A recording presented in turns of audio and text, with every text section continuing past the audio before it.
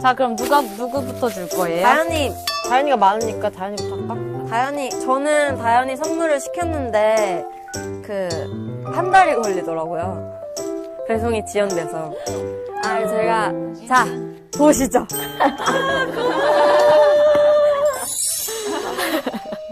자, 제 선물은요. Unboxing! Unboxing! 어, 이게 뭐야? 다현 씨가 제일 잘 쓸 것 같은 걸로 정말 잘 쓸 거예요. 나 진짜 센스 있지 않아? 손도 붙이는 거. 맞아요. 나 별로 안 닿았는데. 아니야, 너무 좋은데? 너무 좋은데? 감사합니다. 잘 쓸게요.